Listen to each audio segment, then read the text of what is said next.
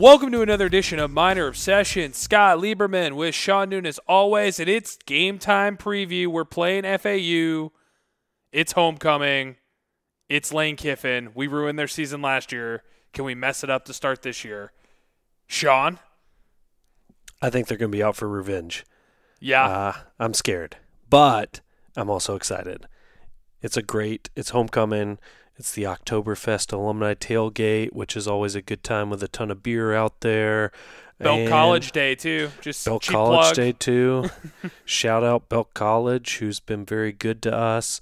Um, uh, I don't know. I what I what I hope is a guaranteed is that this is our most exciting homecoming environment we've seen yet. I mean, I'll be honest. Some of our homecoming games in the past, uh, I don't, know, I don't know if we knew how to do homecoming. We've, we've tried. We've put parades in place and stuff like that, but we've always been a basketball homecoming. We're trying to make this thing a thing type school until the past seven years, and and over those years, there's been some really exciting ones where people are pumped up because it's our first season or our first season in FBS. But in general, I'd say support has been lackluster and excitement has been lackluster. But if there's ever a time to be excited, we've got a perfect game matchup. We've got a first year head coach who's full of energy. We've got a uh, staff who's full of energy, and we've got a team who's playing with a ton of energy. So if our stadium's not full, I don't know what's going to get our stadium full. Yeah, and I think the homecoming's really matured with different award ceremonies and and and then Coach Healy did that really cool thing with the Alumni Association uptown. So I mean, I think I think they're really starting to to hone in on what homecoming should be and I'm excited about the game. I think one interesting part of it and we'll you know, we like to get into the lines cuz I think Vegas tells a good story back to Clemson, right? Said 42 point spread. How much did we lose by? 42. Mm. Over under was 61. What was the total? 62. So I think Vegas normally tells a good story most of the time. so weird. I don't even I- understand how they get it so right. They they're so right. So for this game, the over under 65 and a half and the spread is minus 1 for I believe I believe Charlotte's the favored by one, that home field advantage. Uh, Uh, no. no, no, yeah, no, they are. At Charlotte, it, the the line opened at FAU minus one, and the current line Charlotte minus one. So either way, again, for those that aren't familiar with that, it's a one point. FAU is going to win by one point. Now it's Charlotte's going to win by one point. Moral of the story is it's a really close game. All the other games we've played so far have been double digit spreads in one one direction or the other, and that's why you've seen pretty much blowouts in one direction or the other. App was pretty close, but the some of the special teams plays, especially the end with the onside kick, made the score look a little bit uh, further away than it really was. But if Vegas tells you anything, this is our first real big test, right? We played Gardner Webb, which was kind of a, a pushover game. We played UMass, same thing. App, we definitely exceeded expectations, and Clemson, it was what we thought it was. Yep. This is the first evenly matched game. Could be our first close game with Coach Healy. We had a lot of close games last year where you know we talked about it, some mismanagement by Brad that that might have led to his exit. We'll see how Coach Healy does in a, a close game potentially with timeouts, play calls, challenges, all that fun stuff. Yeah, I agree. Um, you know, building on your interpretation there of the line, that means Vegas is basically saying on a neutral field, we would be two point underdogs. Uh, FAU's slightly better, but we get a one point advantage because of the home field advantage. So we better make that actually play into the, the factor. We better be loud. We better be there. We better be excited.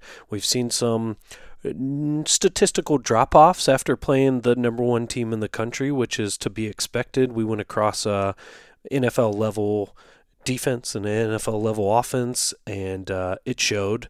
And so um, I'm impressed that we've still managed, even after that game and only scoring uh, 10, we're still first in Conference USA in scoring average, which is awesome to me. We had we had a game against the number one team in the country where we did almost no scoring, and our first couple games of the season were big enough to be able to make our average 38 points, still first in Conference USA, 29th in FBS ranking, and our rushing offense is still first in USA too because Benny LeMay, Ishod Finger, Aaron McAllister doing their thing. Even down at Clemson, we were breaking off some some runs, uh, and credit to the, the offensive line too. Cam Clark and the boys uh, were opening holes as well. I, I think Cameron Clark got a, a, Player of the Week award this past week for his, his play at, at, Clemson, or at least included on one of the teams, maybe the offensive team.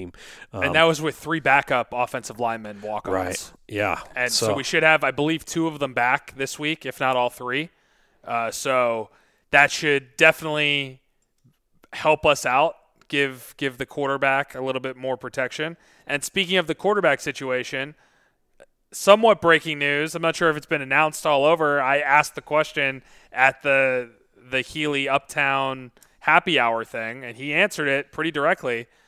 We are no longer a two quarterback system, and Reynolds is now officially the starter, and all he can do now is lose the job. But he is the starter. He talked to, to Reynolds and Kean about that, and he is the starter and the the one person that scored a touchdown at Clemson. So pretty yeah. excited about that. It's got to give him a little bit. Uh, hopefully, he still plays with a chip on his shoulder and everything, but got to give him a little bit of you know room to to make mistakes and not not worry about being on too short of a leash. Yeah, and it's interesting that you got that answer, and I fully support that answer. On our depth chart for this week's game, still listed as a or for Chris Reynolds or Brett Kean, uh, but you know I think we both have kind of been on the train after the first game that Chris Reynolds is going to get the majority of the snaps. Hopefully he this this game is a game where he just takes all the snaps. Last week we saw Kean a little bit against Clemson. Obviously, that's not a game we ever had in hand. So, who really cares who was on the field for for QB at the, that point? We weren't going to take that game home. Um, Part of that but, could also be gamesmanship too. It could, yeah. That's that's very. Then you Bill never know Belichick. who to prepare for. Yeah, exactly. Um, I did see rumors. It's not listed as part of the, the depth chart here as official, but I did see rumors that uh, Jeff Gemmell should be able to play this week, which would be awesome um, for our defense. Having a captain back out there um, running with us. Um, Still sad that uh, we're missing Tyreek Harris on the, the front line and Ben DeLuca out for the season. But, um, you know, our defense played well against Clemson, even. I thought uh, outmatched bigger men. Uh, we saw Highsmith do his thing. And um, hopefully we'll, we'll see a real good defensive showing here this week with a really important Conference USA opening game. And coach also said at that that Gemmell would probably be playing. Yeah. So. Well, that's great. I mean, yeah. we need him out there. Uh, no disrespect to everybody who is filling in for him, but uh, it's just uh, he he's been around for a while and he's been a great impactor for a while, and so it's great to have him out there and and have him with his uh, senior leadership out there. For sure. So we we talked a little bit about the spread. Let's talk about our scores and then you know who our impact players are going to be. Sean, you got a prediction for this week? Score wise? Score wise, spread wise, I mean, pretty much they, they fall together, right? Like whatever you, you pick for the winner, unless you think we're only going to win by one or. I, I don't think I don't think we're only going to win by one. Uh, pretty improbable, but I have seen it happen. I mean, like we said, Vegas is somehow weirdly on point with stuff like that, where you think one's a weird spread, and then magically the game ends up being a one point differential. Um, I think it's going to be a score. You know, FAU's averaging 30 points a game. We're averaging 38 points with a game against the number one team in the country holding us down. Uh, so I'd see us, I'd like to see us get back into the 40 point range and uh, maybe give up in the the 30ish point range. I mean, the the areas of opportunity we've talked about from previous games are is special teams going to give them a short field or potentially give up a touchdown? And uh, are are is our defense going to be able to hold down those few big plays that end up being 60 yard touchdowns um, and get more into the bin don't break? So I'm going with a score of um, let's see here 42 to 36 Wow, big score. Yeah. Uh, I'm I'm gonna go opposite of you. I'm taking the hot take. I think we do go three and zero at home and, and defend Jerry Richardson Stadium, and I think we we beat FAU pretty handily, but I don't think it's a scoring battle. I'm gonna go with Charlotte 31, FAU 17. So you're you're saying we have that game pretty in hand by a touchdown or two the whole game. I think we we uh, it might be tight in the first half, but based on lack of scoring altogether, I think it's more of a defensive battle. I feel like when we think these games are going to be shootouts is when the defense gets annoyed and that's when they step up and the offense gets a little too cocky on both sides. And I just I think we score a little bit. I, d- I don't know if it's defensive touchdowns maybe. I think the running game continues to to power on. I think Reynolds shows a little bit more confidence, especially now officially being named the starter, maybe not on the depth chart you're looking at, but at least from from coach, which is the most important person to hear it from. And I, I think we have a a nice homecoming win. I think we come out with a lot of energy, but I think it slows down quickly. And 31-17, Charlotte uh, defends home and and goes to the next one. Okay, that's interesting. I mean, FAU has been tested already this season. They're two and two right now, but their losses are to number five Ohio State and number eighteen Central Florida. Um, both those games they didn't score a ton, 14 points and 21 points respectively. Um, so that's that might have their numbers deflated a little there, but uh, that's okay. I'm on the scoring side. You're on the defense side. We'll see how it turns out next week. So far, one of us has been pretty right every week. Yeah, that's me. Five and one. Didn't you say I was four and two? Yeah. I mean, both of us. Just to be clear, both of us are picking a spread cover here, right? And you're picking a, a under on the over under, and I'm picking a over here. Is the Yeah, over under I- and- 65? And personally, uh, if I was to bet on this, I would bet the money line over the spread cover just in Oh, sure. case freaky things happen. Um, I think we're definitely going to win. Yep. And I think that would only be like an extra minus five of juice or something like that. and another interesting wrinkle to throw in here, just because I like to throw these things in. Currently, right now, pretty even 50-50 in terms of uh, betting tickets coming in. So uh, that's that shows you why it's so closely contested here. People aren't quite sure which side of the line to be on, um, but we'll Yeah. see. Well, and with the defense, and this goes into why I think this is an interesting matchup. Uh, Glenn Spencer, their defensive coordinator, was our defensive coordinator last year when we had a pretty darn good defense. So I feel like he wants to prove something to to us and Coach Healy, and and have that defense working. He probably knows a lot of our offensive players pretty well, but I think our defense also wants to show him we're still good, and that's why I think we're going to see uh, some more defense than currently expected. That's fair. Can't argue there. I would love to see some good defense. I'm a big defensive guy myself. Um, so, I mean, who's your who's your players? Who you got that you're Yeah. thinking are going to be big impact players? I mean, I, I think if Gemmell plays, I think I think that's a nice one. Should I do what you did last week? Oh, big call there. Yeah, big yeah, yeah. big call. No, Picking I'm the, gonna- the no, no, defensive no. captain. Yeah, I, I'm going to let you pick that because I know that's where you're going to go. And I, I think he will have a big impact. But honestly, and again, you could make fun of me all you want. It's Alex Highsmith, dude. He's he's killing it. He's he's the man. He's going to get drafted and he's going to get another sack or two and continue his his reign. He looked really good against Clemson, the number 1 team in the country. Why can't he look good against FAU? Because he will. He's going to Yeah. he's going to do really good out there and it's going to be great. Yeah, I mean, it, it. We're four games into the season, and he's already tied Larry Ogunjobi's single season sack record of five. Uh, so as and- well as tackles for loss, I believe, with which was 17. Um, so that's impressive to start with. And then I saw earlier this week uh, the offensive tackle for Clemson said that was by far the best pass rush, rusher he ever went against. So that's high praise coming from somebody who's playing against uh, Power Five conference teams, uh, top 25 conference teams. And that was Um, post game when that was post game. that's not how how it is where, you know, Dabo, Dabo starts hyping us up before the game and then you know never talks about us again. This was post game, game's over. You don't need to make people feel good anymore and he he still mentioned that. So yeah, that's that's a really good accomplishment. I'm excited to to see him continue to truck on and, and look great. So that's your guy. That's Alex Highsmith on defense. You got anybody on offense?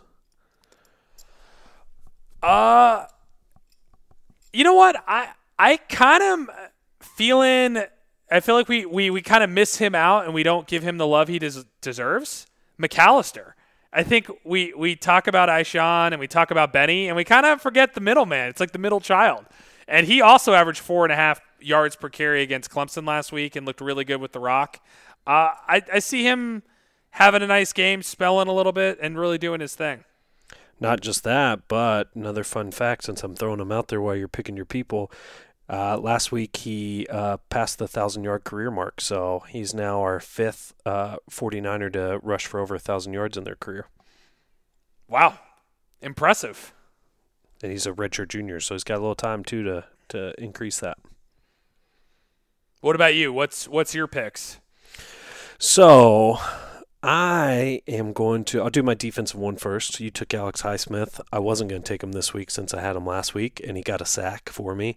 Um, I'm going with Nafees Lyon, cornerback, baby. I think he's uh, done had some really good coverage so far this season. I'm looking for him to get an interception, and you know he's our punt return man. I'm looking for him to return a punt to the house. Looking for him to take it all the way. Wow punt return for a touchdown. Yeah. Hot take. Calling it and, out now. And that's where the 42 is coming from too, right? Like hot freaking take. Okay, Sean. I will happens, get back on this on Sunday and be like, "Whoa, look at it, you!" Right? Nostradamus yeah. if it happened. For sure.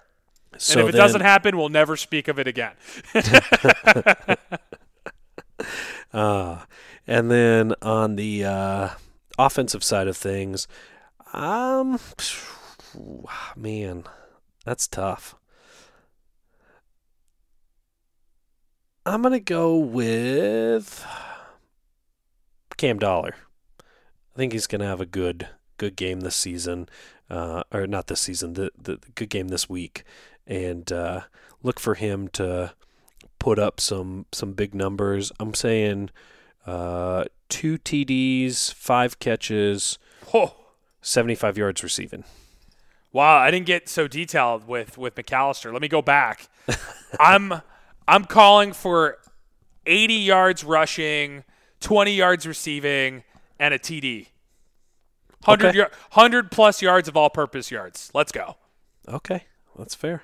Hold us to it. Yeah. If if uh, we're picking, if all these things occur, I mean, I think we deserve a daytime Emmy or something. Yeah, and and I the other thing I would say, which I hope not, but I'm I'm calling this too. Wouldn't be surprised if I see a roughing the kicker when Cruz is out there at one at some point. FAU is probably just still to get mad. back to him. That's fair. That's really fair. I wouldn't put past Lane Kiffin either. Yeah. but I hope not. I hope he just hits another bomb in this game. Maybe he'll make a 50 plus yard field goal at some point. I hope it's not close enough for that to matter. I hope it's not close enough that they do just throw him out there for a 60 yard field goal and he drills it. I'm looking for Club Lit to open for business again this week, so Well, another thing Coach Healy said is they actually have a new sign for Club Lit. oh yeah, Just- man, get on. Twitter. I saw it. Oh, I- Neons and all. Yeah, it's supposed to be pretty cool. And uh, Rodney Graves, shout out to him. He actually asked how he can get a ticket to come into Club Lit, and uh, to to be determined. But still uh, asking questions about that. So maybe one day, if anyone's going to get in there, I'm guessing it's going to be him. So I think we have the perfect two bouncers in Alex Atkins and Marcus West uh, for Club Lit. So if they could, if the fans could just line up outside waiting to get in, and and you know Marcus and Alex could stand out there and and uh, let two people in at a time, that would I feel like that would go over pretty well. One other interesting thing that came out from that that was asked. Uh, Coach was talking about Clemson fans rushing the field, and apparently they do that every game. He mm-hmm. also mentioned that that might be an NCAA violation, and they might get fined every time and pay the fine. But he's looking into getting our fans on the field like that as well, make make it a little bit easier for them, so they don't have to do the horseshoe to slap everyone's hands. So that's another feature that potentially could change in the future depending on what that fine or if there is a way to not get fined type thing. I don't think we're going to pay the fine, but So there- interesting concept as well. theirs is like meeting at the paw, meeting of the paw or something. So ours would be meeting at the pick. Ooh, okay. I I kind of like uh, something with gold. I don't know Oh. if it's digging for gold or something like that. Maybe. we can we can throw out our marketing ideas to them later. We'll think about it later. But I- anyway, moral of the story is 49ers win. Sean's got a lot of scoring. I got less scoring, more defense. We expect a Niner win. We expect a really fun homecoming. We expect a undefeated at home season thus far and a good crowd. and a good crowd. Crowd. crowd better show up. I think they will. I think this is probably going to be a better turnout than any of the games thus far, especially with what we've accomplished with the Clemson game and app and and the home games that have that have come out already. And I believe there's some discounted tickets out there too uh, with some codes. There So are. Get on Actu- that as well. They're twelve dollars, I believe. They are twelve dollars. You might as well hop on that if you don't already have a ticket to the game. How can you beat going to a FBS level um, football game for twelve dollars? homecoming kickoff of Conference USA play. Lane Kiffin, a, a, a built-in villain. It should be really fun. Welcome Glenn Spencer back, hopefully with 30 points on his defense. So lots of good stuff. Sean, anything additional you want to add? Anything else people should look out for? No, look out for us. We're on social media. Feel free to engage. Miner obsession for all of them. Minor, minor, minor underscore obsession for Twitter and Instagram. Uh, and always love getting emails from fans or uh, with questions or comments. So miner obsession 49 at gmail.com. And uh, if you see us at a game, feel free to stop by and say hi. We'll be out looking for somebody wearing some cool gear this week to give away some more free stuff thanks to uh, the 49ers licensing department. Uh, so it's going to be a good time. I'm excited. We'll be in our miner obsession hats. We'll be at the alumni tailgate, so look for us. Hopefully you're enjoying this on your way to the to work today or you're joining on your way to the game. Moral of the story is 49ers win, Lane Kiffin loses, 1 and 0 in conference play, back to a winning record of 3 and 2. And Let's the season keeps going. We're going bowling, baby. Coach Healy's doing great things. I'm pumped up. I'm wearing green. And I'm going Niners. Let's go. Have a great day. Enjoy the game.